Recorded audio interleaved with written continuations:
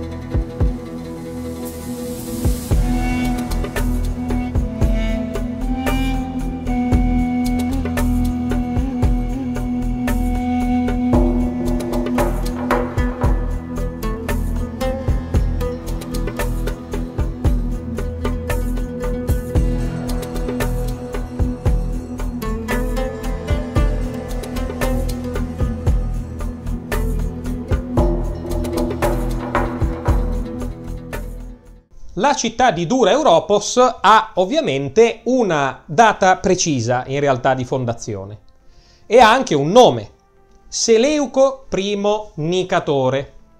Seleuco I Nicatore era un generale di fanteria di Alessandro Magno che nel 303 a.C.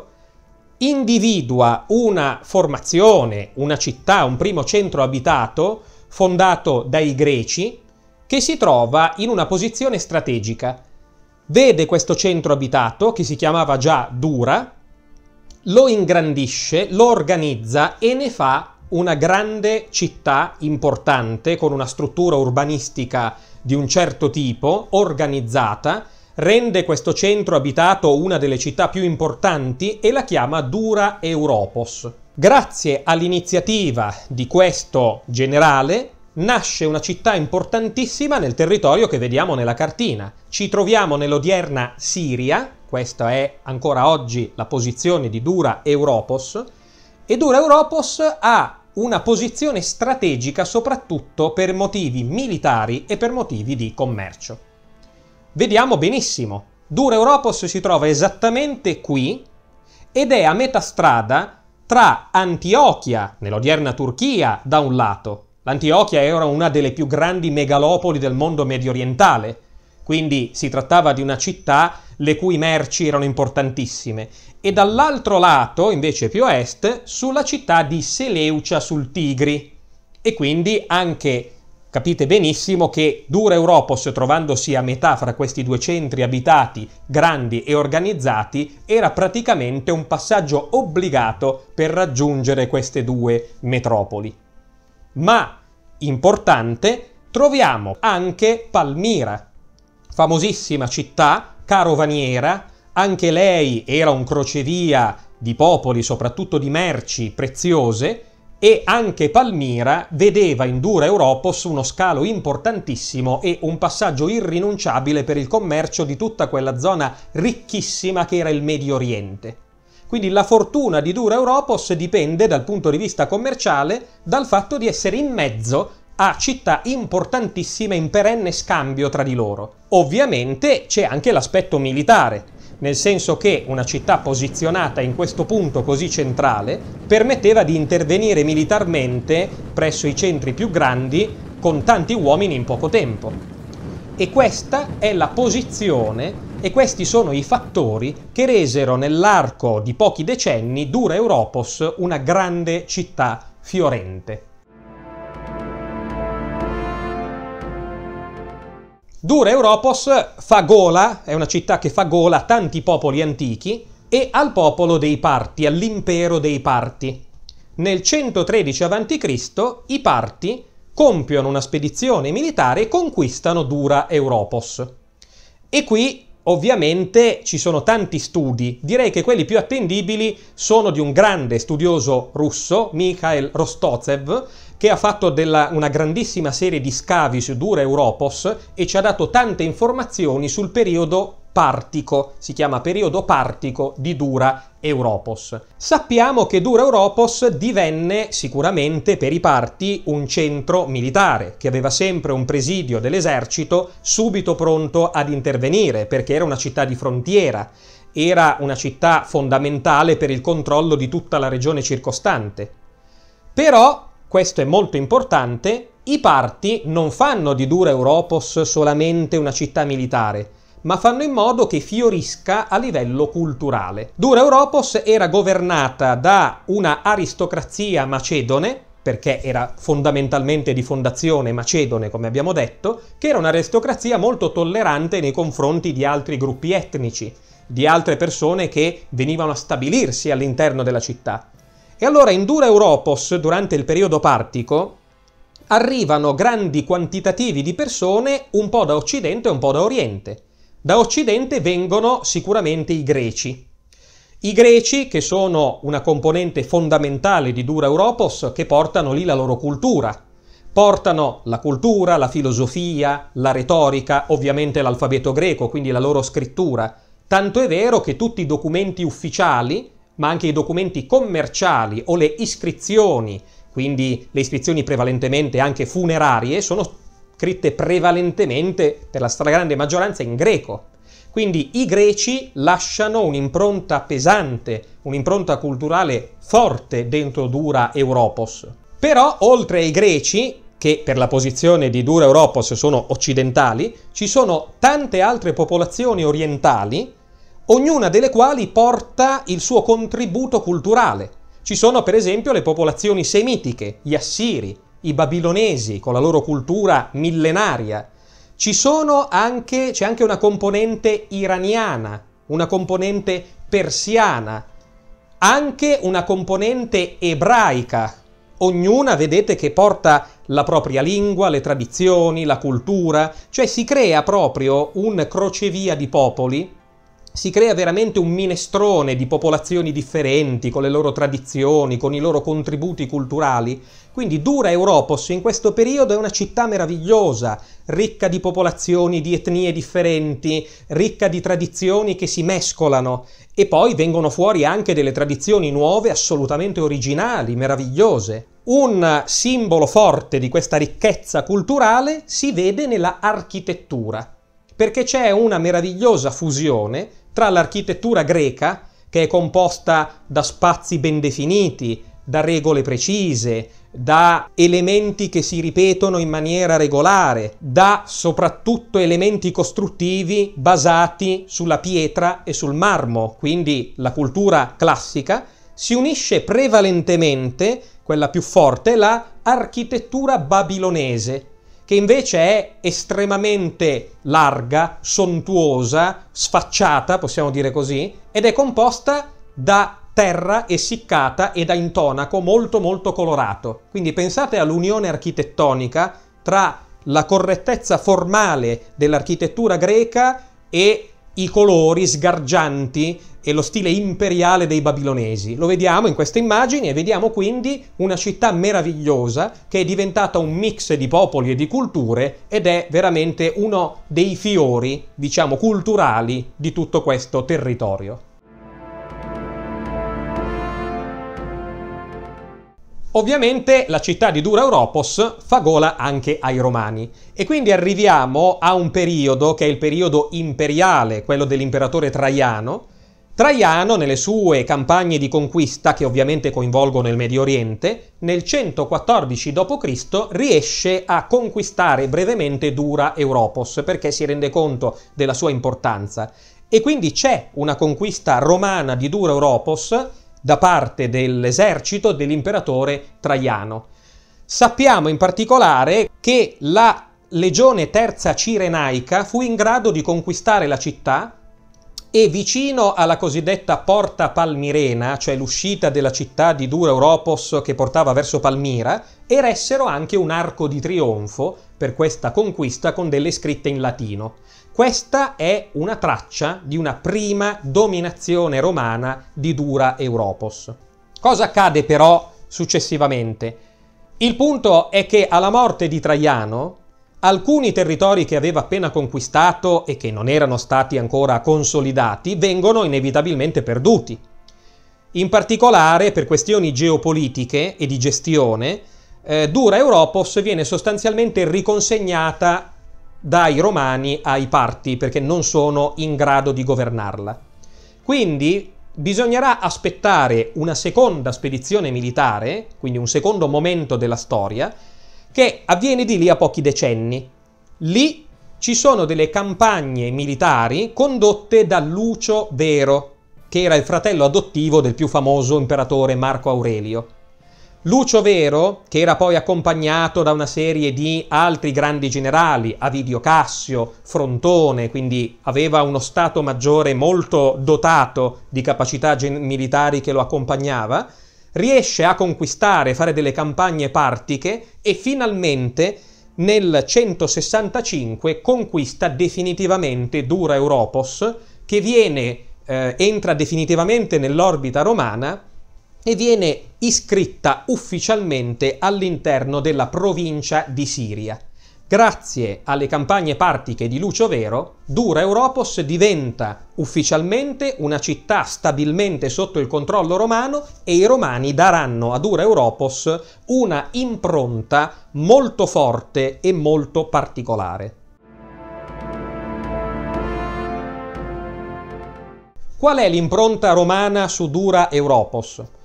Quando i romani entrano in Dura Europos vedono, come abbiamo visto, una grande città che ha conosciuto un periodo di splendore, una città culturalmente molto ricca. L'impronta romana è un'impronta prevalentemente militare. La utilizzavano come un avamposto contro il regno dei Parti, quindi era un avamposto militare per loro importante, e quindi l'urbanistica della città si arricchisce di nuove strutture prettamente militari. Innanzitutto sappiamo che era stato costruito un enorme accampamento con un muro di mattoni dove stavano i legionari, dove stavano i soldati romani che erano di stanza fissa all'interno della città. Poi nel corso del tempo, nella zona nord, nella zona settentrionale, questo accampamento viene posizionato e viene arricchito. Viene costruito per esempio il palazzo del governatore, il palazzo del generale, che diventa anche uno dei palazzi più belli di Dura Europos. E poi mano a mano la vita dei legionari nel nord della città procede e si cominciano a costruire degli anfiteatri per i legionari, che stando lì per diversi anni poi avevano bisogno no? di portare avanti una vita sociale, di avere dei divertimenti, anche di entrare in contatto con la popolazione. Quindi la parte nord diventa praticamente militarizzata. E una cosa importante, eh, degli elementi importanti di questo periodo sono dei templi. Templi che riflettono una grande varietà di religioni diverse, tanti credo diversi che convivono all'interno della stessa città. Ci sono per esempio dei templi in onore del dio Mitra.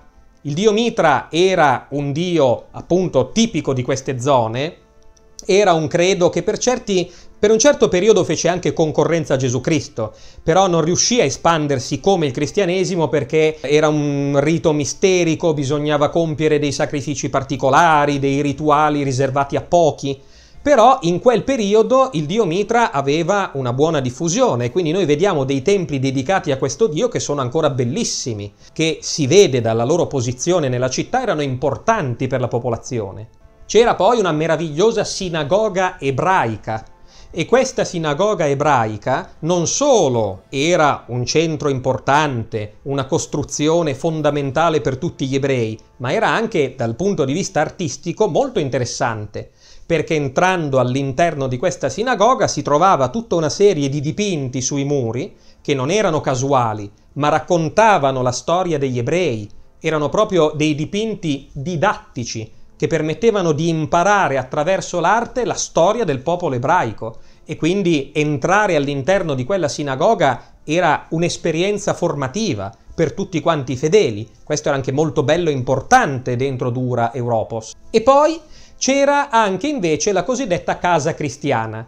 Cioè, questa era molto più piccola rispetto alla sinagoga, era praticamente un'abitazione privata a cui probabilmente vennero aggiunte un paio di stanze e venne riconvertita in chiesa cristiana. Quindi c'era una comunità cristiana a Dura Europos che utilizzava questa abitazione riconvertita per il suo credo religioso e per fare svolgere tutte quante le funzioni e i riti cristiani. E qui ci sono delle cose particolarissime. Perché particolarissime? Le immagini ce lo fanno capire. All'interno di questa casa cristiana ci sono alcune delle più antiche testimonianze del mondo della religione cristiana. Secondo Graydon Snyder, che è uno dei principali studiosi eh, proprio della parte cristiana di Dura Europos, ecco che qui troviamo delle raffigurazioni, forse le raffigurazioni più antiche che abbiamo di Gesù Cristo e delle sue parabole. C'è la raffigurazione della parabola del buon pastore, c'è Gesù e San Pietro che camminano insieme sulle acque, c'è la guarigione del paralitico, una delle parabole più famose di Gesù. Quindi vedete che troviamo qui alcune delle raffigurazioni e delle testimonianze più antiche della storia umana legate al cristianesimo. La storia però di Dura Europos a un certo punto cambia. Cambia perché? Perché l'impero dei Parti conosce una specie di rinnovamento con una nuova dinastia di re e di imperatori, che è la dinastia dei Sasanidi.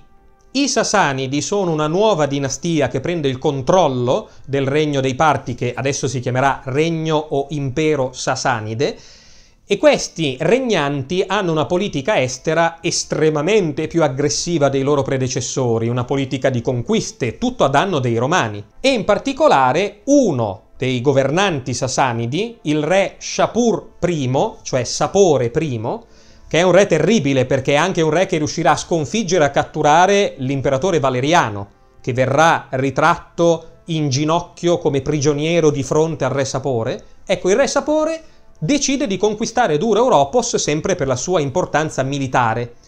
E allora, nel 256 d.C., i Sasanidi di, di Sapore I decidono di assediare la città che è ovviamente abitata e difesa dai Romani e qui comincerà un assedio devastante. Noi purtroppo non abbiamo delle fonti antiche che ci spiegano esattamente questo assedio, ma grazie al lavoro di ricostruzione archeologica riusciamo a capire le fasi di, questa, di questo assedio, di questo combattimento. Eh, venne eseguito un primo attacco da parte dei Sasanidi, alla torre numero 14 di tutta quanta la eh, configurazione delle mura di Dura Europos e i Sasanidi utilizzarono la cosiddetta mina.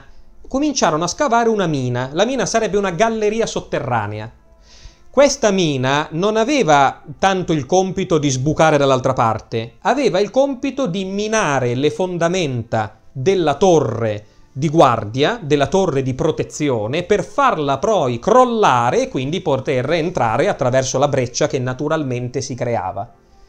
I romani si resero conto che i sasanidi stavano scavando questa mina e si stavano avvicinando alla torre e allora costruirono una contromina, cioè una controgalleria, per intercettare le gallerie dei sasanidi e per fermarli. Quindi immaginate che si era scatenata tutta questa guerra sotterranea, queste, questi scavi che venivano fatti di giorno, di notte, eh, in preda all'arsura, al calore, alla paura di essere scoperti. Ecco, tutta questa lotta sotterranea. E questa lotta sotterranea come andò a finire? Andò a finire che i romani riuscirono ad intercettare le gallerie dei Sasanidi. Quindi capitò immediatamente uno scontro sotterraneo tra i Sasanidi e i romani, e siccome i Sasanidi riuscirono ad avere la meglio, i Romani cominciarono ad uscire dalla galleria. In fretta e furia gli abitanti e i legionari che erano rimasti sopra tapparono il buco della galleria per non far uscire i Sasanidi e così riuscirono a cavarsela. Ma qui avvenne comunque un fatto gravissimo, anche tecnologico.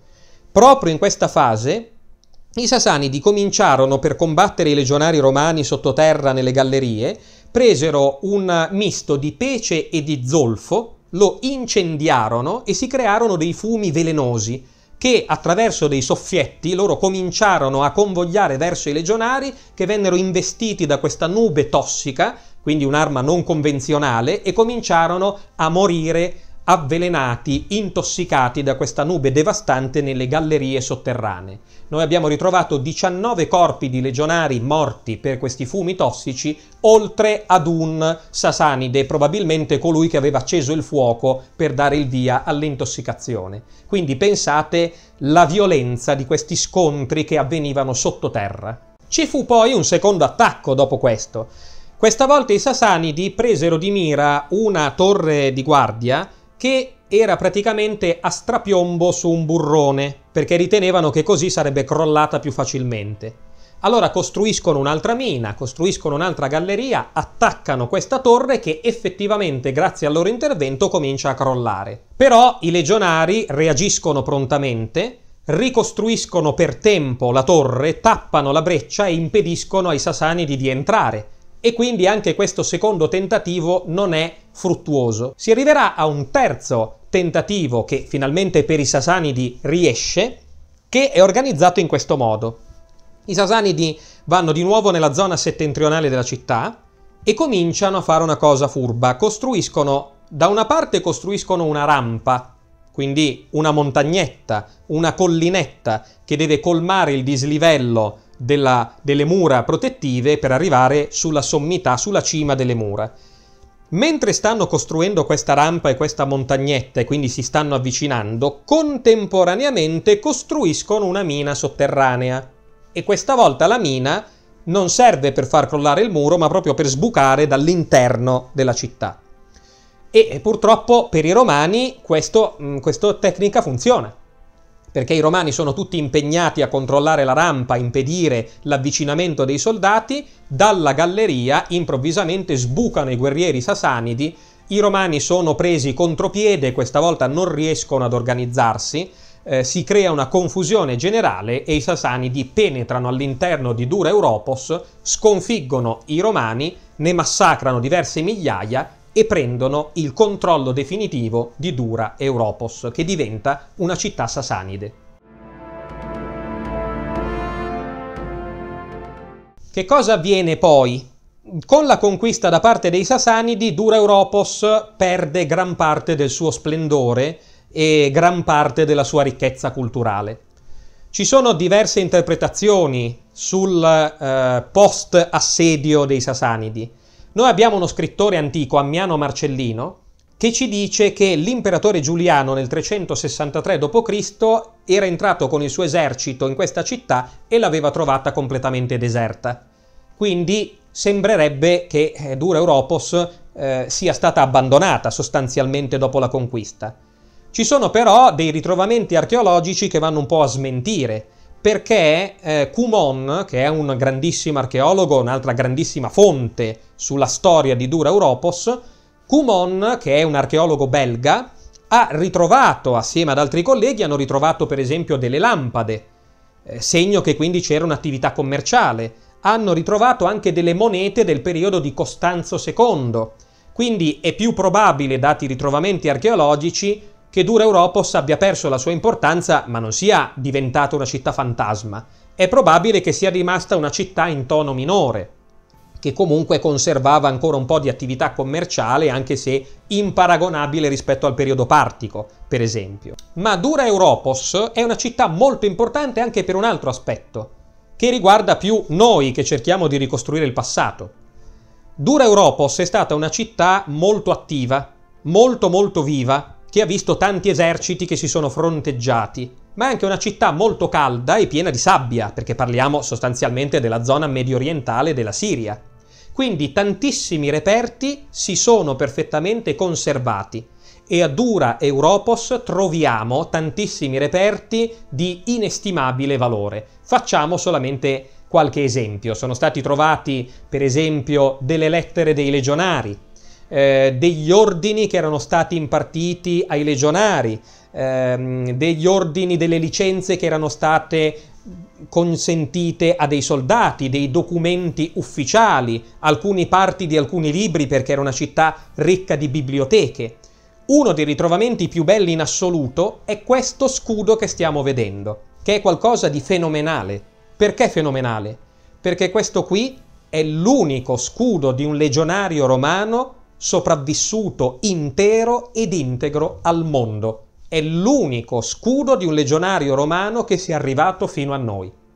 Qualsiasi studio non può prescindere da questo esemplare meraviglioso grazie a questo scudo. Questo è uno scudo molto bello, molto eh, aggraziato, quindi probabilmente non era uno scudo per il combattimento, era più uno scudo da parata o comunque uno scudo anche per dimostrare la ricchezza del proprietario. Ma questo è il solo scudo al mondo che abbiamo di un legionario romano, lo scudo di Dura Europos. Questo è un reperto di valore incredibile e incommensurabile.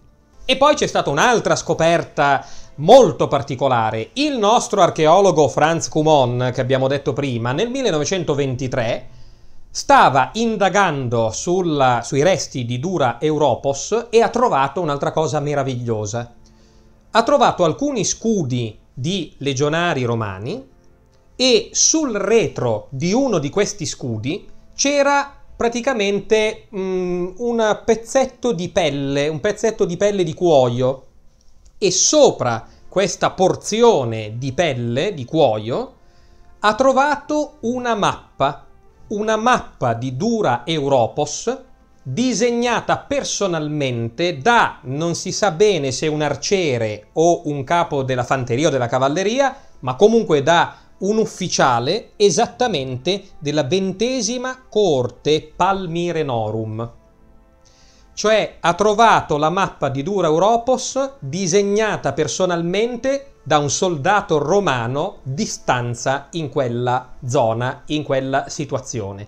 Questa che noi stiamo vedendo in questo istante è esattamente la mappa disegnata dal legionario romano. È molto sbiadita, eh, non è facile da capire, ma osservandola attentamente si comprende proprio tutta l'immagine, si comprendono le varie distanze tra i punti delle città che sono indicati con delle parole greche ma utilizzando il sistema delle miglia romane. Questo è un reperto meraviglioso, c'è una mappa disegnata direttamente da un legionario romano e forse l'unica al mondo. Avviso a tutti gli appassionati, questa mappa che è stata ritrovata ha subito anche alcuni processi, cioè con la tecnologia sono stati recuperati i tratti del legionario, la mappa è stata riveduta, corretta, sono stati aggiunti i colori, eh, sono stati definiti meglio i tratti che erano stati disegnati dalla mano del legionario e questo è il risultato finale. Questa è la mappa ottimizzata e migliorata di Dura Europos disegnata da un legionario. Per chi desidera ed è attratto da questa mappa, da questa testimonianza unica, il bar di Roma antica mette a disposizione la riproduzione su tela proprio di questa mappa quindi un prodotto acquistabile sul nostro sito bardiromantica.it nella sezione del negozio online troverete la riproduzione, un quadro, la riproduzione su tela di questa meravigliosa mappa disegnata dalla mano di un legionario romano pronta per l'acquisto per chi vuole avere un ricordo di questo video e di questa storia. Dura Europos quindi è, come abbiamo visto, un patrimonio immenso per gli archeologi e per tutti gli appassionati rimane quindi il ricordo di una città importantissima che ha visto passare la storia ed è stata protagonista di avvenimenti a volte assolutamente tragici ma importanti per, tutto, eh, per tutta la zona e per tutto il periodo eh, dell'antica Roma e anche del regno sasanide. Speriamo di avervi affascinato con la storia di Dura Europos, vi invitiamo ovviamente a iscrivervi al canale del Bar di Roma Antica per non perdere i video e dovete immediatamente iscrivervi subito in questo momento al canale del Bar di Roma Antica perché altrimenti noi facciamo come i sasanidi. Voi state con il tavolo a mangiare regolare con la vostra famiglia, scaviamo una mina e vi crolla il tavolo. Dormite, scaviamo una mina e vi crolla il letto. State studiando una mina e vi crolla la libreria. Allora, per non crollare in continuazione, per non vivere crollati, iscrivetevi al Bar di Romantica, al nostro canale. Un caro saluto e al prossimo documentario.